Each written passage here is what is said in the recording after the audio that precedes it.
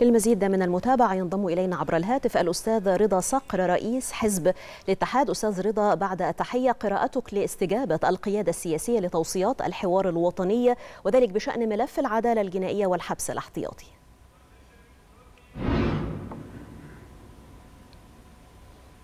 أستاذ رضا صقر. مرة أخرى قراءتك لاستجابة القيادة السياسية لتوصيات الحوار الوطني وذلك بشأن ملف العدالة الجنائية والحبس الاحتياطي. أهلا بحضرتك أهلا بيك. طبعا احاله السيد الرئيس لتوصيات الحوار الوطني بشأن ما جاء بالحبس الاحتياطي طبعا ده ترسيخ لمبادئ المبادئ الدستورية وترجمه لمطالب الأحزاب والقوى السياسية داخل الدولة المصرية. نعم. أهمية الخطوة بإحالة هذه التوصيات بشأن الحبس الاحتياطي إلى الحكومة وهي تعني سرعة اتخاذ إجراءات لازمة. السيد الرئيس أراد بهذا سرعة اتخاذ إجراءات لازمة لتفعيل تلك التوصيات. المتوافق عليها من القوى السياسية واستجابة للمناقشات والجلسات الطويلة التي تمت في الحوار الوطني والتي تميزت بالتعدد والتخصص.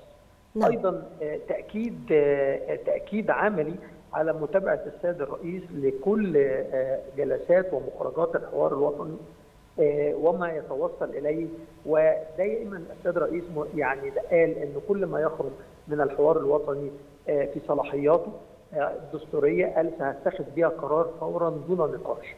وما يحتاج إلى أحالته للحكومة لإصدار قوانين وتشريعات لمجلس الشعب سيتم إحالتها الحكومة. وهكذا الرئيس صدق في وعده.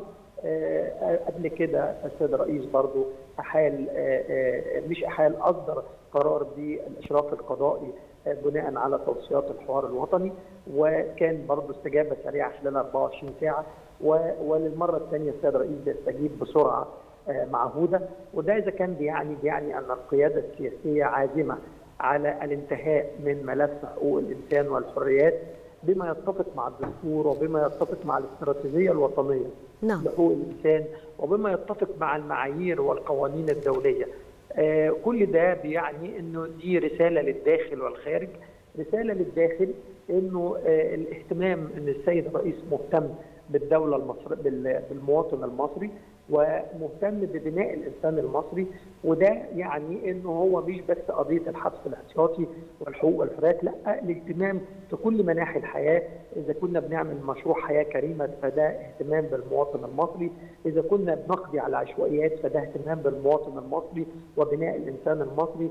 إذا كنا بنعمل طرق وكباري فده برضه لإراحة وتحقيق الاستثمارات داخل الدولة المصرية ليه علاقة بالمواطن المصري. فإذا بصينا على المشهد كله هنلاقي إن المشهد كله بيعني انه السيد الرئيس شغله الشاغل وهمه الرئيسي إنه والحكومة ومؤسسات الدولة هو الإنسان المصري سواء كان على مستوى بنائه سواء كان على مستوى الحماية الاجتماعية سواء كان على المستوى السياسي والاقتصادي.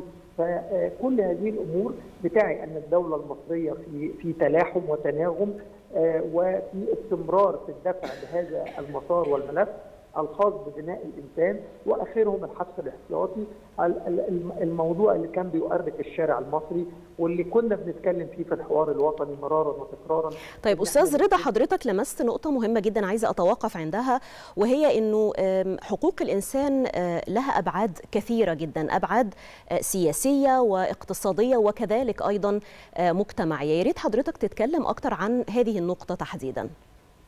ملف حقوق الإنسان هو ليه أبعاد سياسية واقتصادية وليه أبعاد دولية. صحيح. خليني أكلمك على الأبعاد الدولية الأول لأنه ده الملف اللي بيتاجر بيه على مصر دايما. يعني إحنا شفنا النهارده ازدواجية المعايير وشفنا وشفنا يعني انتهاك لحقوق الإنسان.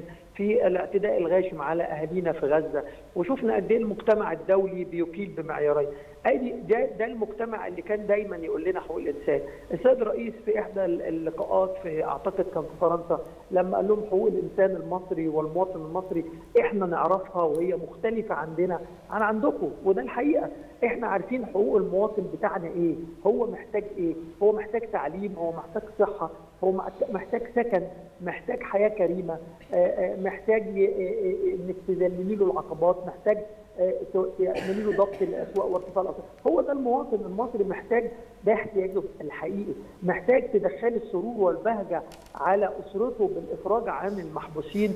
ما هو ده برضو عمل هام جدا إنك تدخلي البهجة والسعادة والارتياح إن المواطن المصري يشعر أن الدولة والقيادة السياسية مهمومة ومهتمة بالقضايا يعني إيه واحد محبوس؟ لا دي قضية كبيرة جدا دي قضية مهمة جدا دي بتشغل القيادة السياسية والدولة المصرية بدليل إنه صادر قرار بالبحث في قانون الإجراءات الجنائية.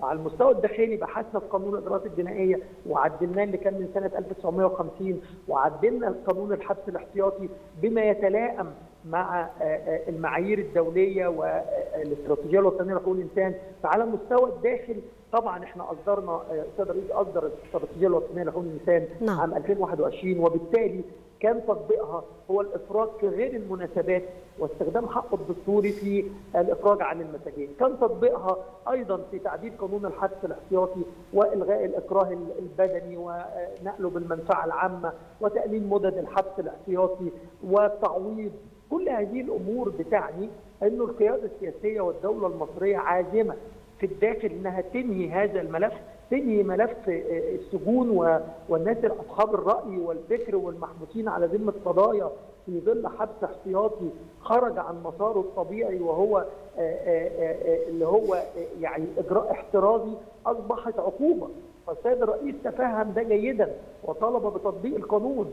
ده مش عقوبة ده ده اجراء احترازي تطبيق القانون وتفعيله على أرض الواقع والاستجابة أيضا الفورية. بشكرك شكرا جزيلا أستاذ رضا صقر رئيس حزب الاتحاد. شكرا جزيلا على هذه المشاركة.